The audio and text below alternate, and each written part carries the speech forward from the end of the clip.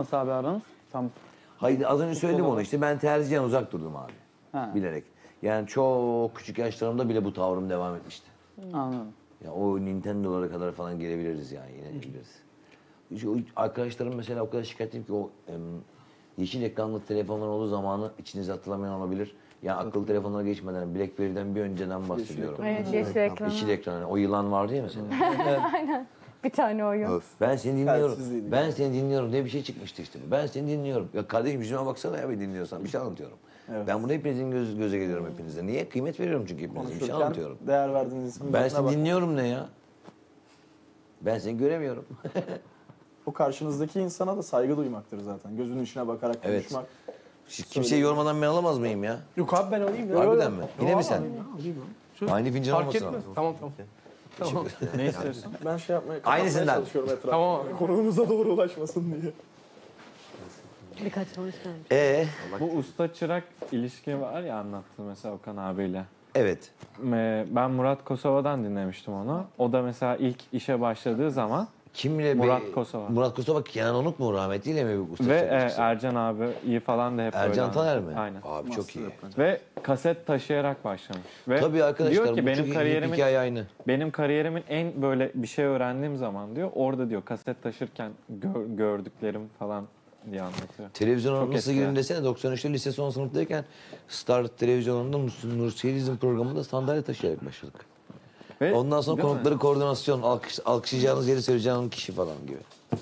Orada aldığı tecrübe insanın. O Ya onların hiçbiri boşa değil abi yani bildiğiniz eğitim sistemi gibi düşünüyorum bunu. Birinci sınıfa gerekiyorsa yani birinci sınıfta lazım olan birinci sınıfta kalmayacak çünkü sana. Biliyorsun ki lazım olacağı yer var. Yani ben mesela dört yıl boyunca niye spor muhabiri yapmışım? Keşke bir fakülteyi bitirseydim başka diye düşünürken o dört yıl boyunca yaptığım spor muhabirini bırakıp konuk ağırlanan talk show formatında programlarda kendimi geliştirip sonunda sporcuların konuk olduğu bir talk show çıktı karşıma. Ve Her şey bir yol açıyor. 127 bölüm sürdü. 127 bölüm. Evet. Fazla. Birçok takdir kazandı. İki yılı geçkin. Hem üniversitelerden hem sokakta yani. Bütün hem tö- ödül törenlerinde hem de yaşarken. Yani otobüsün karan, otobüsün kalabalığında bir çocuk ben böyle motosiklette giderken köprüde bana böyle yaptı ya 21. Ama hayatımın en güzel anı yani. Ve o insanları bana tanıtan ve beni çok daha çalışmaya iten, şevk eden bir program oldu.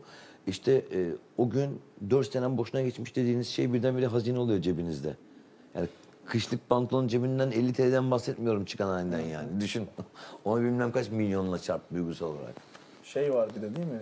Sizin okuduğunuz, araştırdığınız her bir insan bile hayatından mutlaka bir parça alıp kendi hayatınıza uyarlıyorsunuzdur ve bir ders çıkarma konusunda. Levent biyografiler kadar hızlı öğreten bir şey hayatıma görmedim. Direkt bir insan hayatı. Bütün e, yani bunu benim çözdüğüm bir sır değil elbette. Çözmüş birçok insan vardı izleyenlerimiz arasında ama çözmemiş olanları olsun sözümüz. Biyografiler size çok kolay şeyler öğretebilir. Hemen ders alabilirsiniz onlardan. Ben çok etkilendiğim insan hikayeleriyle karşılaşıyorum o yüzden. Vazgeçmemeyi, destek olmayı, yardım kelimelerinin hepsinin anlamları insanların hikayelerinde var. O sözlüktekilerin hepsi boş yani onun anlamları. anlamları. Özellikle Diyelim ki- motivasyon anlamında kesinlikle. Evet. Diyelim ki ben sen abi bir kitap hediye etmek istiyorum. Evet. Bana Nasıl mı? yaparız o sürece? Yanımda değil evimde. Ben mesela senin anlattığın şeyleri böyle çok keyifle dinledim. Ben çok, çok seviyorum kitap Şimdi okumayı. sen beni dinle diyorsun. Hayır hayır. ben bir tane sana böyle çok Tamam sevdiğim Gümüşsuyu İş Merkezi. Taksim Gümüşsuyu. Biz radyomuza Efe abiye bırakıyorum o zaman. Olur olur. Bakarım. İmzalayıp veririm abi kitabı. Başkasının kitabına imza atılmaz terbiye icabı. Cildini ben kendim yapıp üstüne Berkan Can yazdım.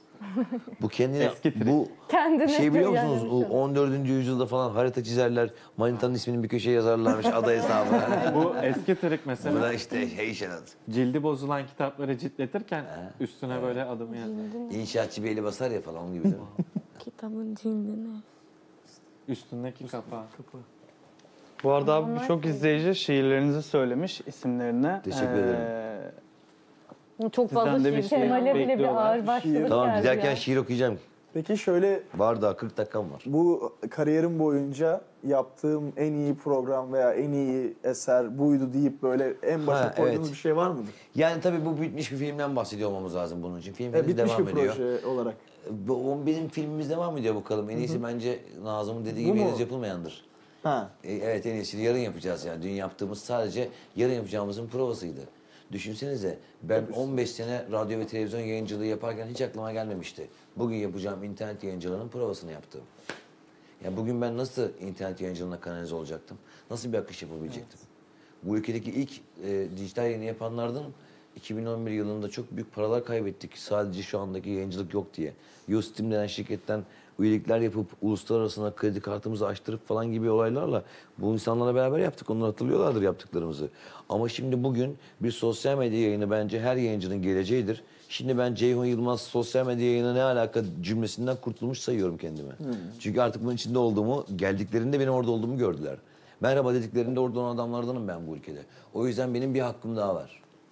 Benim de belki hologram hakkım olmayabilir. Atıyorum hologram yayıncılığı başlarsa Aynen, o ben de artık şu anda tercih etmeyen abilerimiz gibi olabilirim. Örnek vermek için Metin Akpınar benim için kahramandır. Ferhan Şensoy keza öyle. Bu insanlar sosyal medyayla e, iç içe olmadılar, tercih etmediler. Haklılar da. Ben, ben de bir gün o yaşlarda olacağım. Ben de bir gün o şeylerle kadar koşamayacağımı ilan edeceğim. Ama şimdi değil. Şimdi çarkların içindeyiz. Eğer Seferihisar'da bir balıkçı köyünde yaşamıyorsan sosyal medyayla ilgileneceksin abi. Ferhan Şensoy'la ilgili hikayen var mı abi? Ben çok Var tabii. Ferhan Şensoy hmm, o kadar şanslı bir çocuğum ben ya arkadaşlar. Vallahi öyle. Bayağı genç. Vallahi Bayağı bir şey? Gerçekten. Söylerken laf arasında geçen isimleri Evet. duydukça yani Ferhan Şensoy'la Ferhan Şensoy mesela ben çok tanış- isterdim. sağ olsun programımıza da geldi. Ben zaten çok küçük yaşlardan beri onun kitaplarını okuyup tiyatrosunun müdavimlerindenim. Benim için önemli olan, e, kıymetli olan şey ne biliyor musunuz arkadaşlar? Ferhan Şensoy gibi bir insan tarafından ismimin söylenmesi mesela. Ben bunlarla yaşıyorum. Beni gördüğünde adımı söylemesi, hattımı sorması, hatta teşekkür etmesi benim için çok kıymetli. İşte radyoda e, bu oyunların duyurularını gönüllü yaparak oraya gidip işimizden falan dolayı teşekkür ediyor. Bir şey yaptığımız için de değil aslında. Ama mesela Ferhan Şensoy'la tanışmamış olmak beni biraz daha yavaşlatırdı diye düşünüyorum. Çok daha geç anlayabilirdim anladıklarımı. 15 yaşındaydım Kazancı Yokuşu'nu okuduğumda. Hiçbir 15 yaşındaki çocuğa tavsiye etmiyorum Kazancı Yokuşu kitabını okumasını.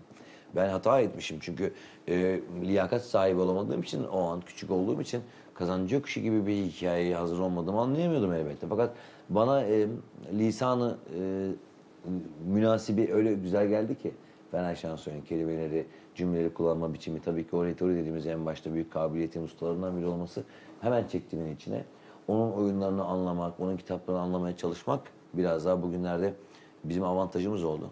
Bu insanlarla dost olmak böyle ne bileyim hani fotoğraf çektirmek. Aynı sahneye çıktım ondan fotoğraf çektirdim. Televizyon programına konuk olarak geldi. Sağ olsun kırmadı. Ee, doğum günlerini anarım, hatırlarım. Ve hep iyi olmasını dilerim. İyi ki bu ülkenin önemli kıymetleri bunlar, bu insanlar. Çok yaşasın. Ben Yaşar Kemal'le bir çay içme ne şeyine nail oldum şerefine. Ben bir, bir çay yani herhangi bir şey de yoktu. Yani çok geniş bir diyalog da yoktu. Ben unutmam mesela asla. Unutma. De, onlar dev işte. Biz de bir aynı ortamda bulunduk. Birebir kalmadık ama. e, onun da olduğu bir yerde sahnede bir şeyler söyleme şerefine nail oldum ben de yani. Böyle insanların ben konuşurken dinlemeleri de çok hoşuma gidiyor. Başka bir e, herkesin sizin de ilginiz tabii ki şu anda gururumu okşuyor ama bizden yaşça büyük e, toplumların kıymetini e, çok büyük bir alkışını kazanmış olan insanlar olunca biraz daha tuhaf oluyorsun işini yaparken. Ben ileride çocuğuma anlatacağım Ceyhun abiyle oturdum diye. Ne güzel canım yok bize o kadar yapmıyor. Onlar dev karşılıklı o muhabbet ettik. De ölmeden, ölmeden Ben acele ederim abi yetişir çocuk. Biz de aslında geleceğin şanslı çocuklarıyız. Evet olabilir. Evet. Yani çünkü eğer şiirlerim düşündüğüm kadar iş yaparsa büyük hatıra olabilir şu an. yani ben ölünce belli olur ondan sonra. Ölmeden şair olunmuyor pek. Sonra kıymeti biliniyor genelde. E bizde pek yaşayan şeyin kıymeti yok ya. Aslında sonra anlaşılıyor yani sonra Kırılan kupanın anlıyor- kıymeti vardır hocam. yani. Ah gitti dersin hep onda içiyordum. Hayır alamıyordum. bunu. Halbuki o güne kadar Yok evet. Hmm. Yani bununla ilgili de... Abi kahve ikna mı ettin ya? İki saat Abi su biraz Kahvesin sen kahvesin Zor- yemin et zor olacağız.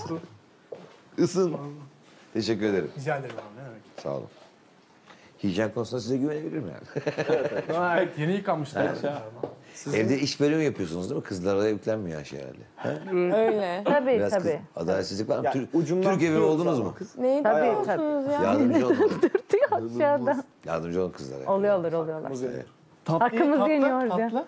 Ama şimdi onu nasıl koyacağım şeye? İkram nasıl Abi, ikram edelim? Evet ikram abi. sıkıntı. Hazır mı? Tatlı Hazır. ister misin? 10 Sadece dakikada pişireceğiz. oluyor Tamam, Hiç aram sadece. yoktu tatlıda. Hiç mi? Hiç zahmet etmeyin. Abi ama öyle bir tatlı Size- değil size ya. tat- Ama, Ama hoş, belki bir u- ufak tadarsanız hoş. Harbi Yok tatlı. şimdi arkadaşlarım var beni izliyorlar onlar sizi yiyemem. Zaman ayıp olur. Biz çıkınca onlara tatlı ısmarlamışlar. Tamam. Oley bize kaldı. ben, size tatlı, ben size tatlı bir şey söyleyeceğim şimdi. Tatlı yemiş kadar olacaksınız. Hadi bakalım. Abi Heyecanlandım. sürekli şiirsel konuşuyorsun. Aklıma Bak, geldi. Aklımdan derin bir anlam Aklıma geldi İstanbul Bahçelievler deyince falan filan zaten bayağıdır annemi düşünüyorum konuşurken. Biz annemizi 2006 yılında kaybettik. Başın sağ olsun. Cümlemizin. Hiç de üzülmedik. Hiç- Hep çok seviyoruz onu. Hep anıyoruz annemizi. Hikayelerini, e, bize öğretmeye çalıştıklarını gün geçtikçe daha net anlıyoruz. Öyle oluyor bir de. E, kızlara yardım edeyim musunuz deyince aklıma geldi. Biz annemle böyle birebir yaşadığımız zamanlar oldu. A- babamın zaten sürekli çalıştığı için adam kamyon şoförü ne yapacak? İşe gidiyor. Ablam da okula başlıyor. Orada arada annemle bir iki yılımız var. İkimiz bekar hayatı gibi.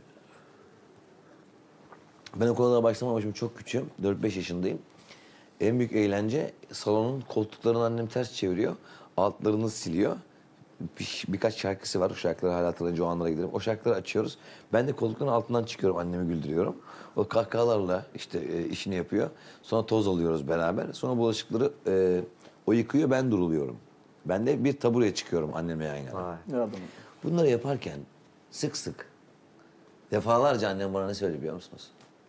Karına da yardım edecek misin? Onu aşılamak. Sürekli. Sohbet toplarken. Sen karına evleneceksin büyüyünce karın olacak. Evet karına yardım edecek misin? Edeceğim anne. Ya inanabiliyor musunuz? Hiç tanımadığı ve tanıyamayacağı bir kızın hayatıyla ilgili çok önemli bir şey inşa etmeye çalışıyor. Evet. En azından bir çocuğu kurtarıyor yani Bir toplumdaki. O bir çocuk evet. Evet. kadını kurtarıyor belki. Bu evet aklıma geldiği söyledim. Bu konuda o yüzden çok hassasım. Ben de evde birçok kız arkadaşlarımız geldiğinde bana hemen dikkat ederim. Kalkar en azından bir şey kaldırırım ya anladın mı? Onu yapmak zaten bir şifre veriyor diğer arkadaşlar da onlar da bir şeyler kaldırıyor. Hop hop gidiyor. Çünkü biz e, bazen çok yükleniyoruz. Çok rahat alışmışız çünkü bizim toplumumuzun erkil yapısı bizi böyle o düşüncesizliğe, kabalığa, kalınlığa doğru itiyor olabilir bazen. Biz o güzel kültürlerimizi e, modern bir şekilde oyarak, inceleyerek Bu evde davranış herkes birbirine yardım ediyor ama bence. O çok keyifli. Sadece hani bir şey toplama konusunda değil. Kapalı birazdan Ama o düşüncede çok nadir insan şu an Türkiye'de. Çoğunluğu yobaz düşüncede bir insan maalesef. Şimdi çok şey değişti ya moruk. O yüzden. Ee, Ferit değil mi? Ferit abi. Ferit'ciğim pardon. Ee, şüpheye düştüm. Şimdi birçok şey değişti ya ben sizin gözünüzün önüne birkaç fotoğraf getirmek istiyorum. Ee, televizyonda çıksın diye beklediğimiz programlar vardı. Evet. Mesela bugün çokça adından bahsettiğimiz Okan Bölgen programı gibi. Daha da geriye gidelim. Biz ablamla her pazar saat 16'da olan bir dizimiz vardı ablamla. Pazartesi sabahından itibaren beklerdik. Kara Şimşek. Sadece pazar günü oldu. Ve nasıldık biliyor musunuz? Şöyle dizler yerde, şöyle izlerdik televizyonu. Anne baba bizi belimizden alırdı ablamla, biraz da geriye koyardı. Biz sizinle kıçım kıçım yanaşırdık yine Televizyon televizyona. yaklaşma Evet. muhabbeti sürekli değil mi? Yani gözüm bozuldu. Şimdi Benim bugün, aklıma o geldi. bugün bu davranış biçimini alışkanlık haline getirecek bir çocuk olabilir mi? Yani bir şeyi bekleyebilir mi beş gün? Altı gün, bir hafta. Neden Sürekli beklesin bir ki? önünde şey var zaten tüketilebilir. Ne zaman isterse o zaman izler istediğini. Evet. Şimdi bir sayfa daha çeviriyorum. Türk filmlerinde hatırlarsanız sesini beğendirmek için yapımcıya türkü söyleyen adam. Un kapanı bloklarında yatan. Şu anda sanki eski bir teknolojik tıbbi bir ameliyat anlatıyor gibi değil miyim? Artık çok geçti efendim. Onu lazerle yapıyorlar var ya. onu yapıyorlar, onu lazerle yapıyorlar. Ee, yani bir kişinin sesi güzelse eğer yapacağı şey acaba un kapanına gitmek midir bugün? Hatta galiba böyle bir yer yok. Geçen gün yıkıldı diye veya bir şekilde Var da artık sadece şey diye. satıyorlar. Müzik aletleri falan çok böyle na- küçük. Eski CD'ler, plak. Ha. Bir televizyonda klibinizin dönmesi için müzik kanalının yöneticisiyle saçma zaman bir ilişkiye girmek zorunda mısınız şu anda? Eğer bunlar değiştiyse sevgili arkadaşlar, sizin de bir önceki neslin yaptığı her şeyi değiştirmeniz gerekiyor. Kabalıklar dahil. Güzel örnekler. Bak faksa hiç girmiyorum Mehmet haberin olsun. Aman oraya geçelim. Bak faksa hiç girmedim. Bu arada abi Hexaf eee 3 TL göndermiş. Hocam uzun süredir hayalim Ceyhun Yılmaz'ı sokakta görüp Ceyhun Yılmaz Show diye bağırmaktı. Yapıyorlar arada. Demiş keşke Sevil de olsaydı. demiş. Ha, teşekkür ederiz. Sevgili rad- e, radyo programı, konçerto, efsane programımızı yapacağız önümüzdeki aylarda. Müjdeli haberi ilk defa buradan verelim. Çünkü Sevil e, bilenler için söyleyeyim. Eski e, radyo programcısı arkadaşımız beraber yapıyorduk programımızın bir kısmını. Çok komik bir kızdır. Çok mizahi yönü çok güçlüdür. Fakat Sevil evlendi benim en yakın arkadaşımla. Ve e, iki çocuk sahibi oldu, anne oldu. 87'li bu arada. 87'li kız varsa aranızda şey yapalım. Siz daha küçük biliyorsunuz ama. Ve o çocuklar yani şu anda tabii altı buçuk ve dört buçuk durumundalar. Allah'tan biraz büyüdüler ama ben her günlerine şahidim. Çok zor bir şeymiş anne baba olmak. Yani resmen o çocukları gördükçe çocuk sahibi olup diğer manaların öbür yüzünü gördükçe benden nasıl baba olacak abi falan diye kaçırttılar beni. Fenalar yani. Şimdi hiç durmuyorlar bir de çocuklar. Çok gerçekten büyük bir sabır isteyen bir olay. Çok Herhalde zor. anne baba Çok sıfatları e, tanrısal bir şekilde bir sabrıyla beraber geliyor insanlara. Çok zor yani bir yere çıkamıyorsun, dönemiyorsun felaket. Çocuklar. Tamamen o yüzden çocuğa Sevil biraz onlara bakıyor. Şimdi düzeltecek kendini haftada bir gün falan böyle bir şey yapacağız. Seveni, e, soranı var hala. Çok teşekkür ediyoruz. Biz de onlara kıymet veriyoruz.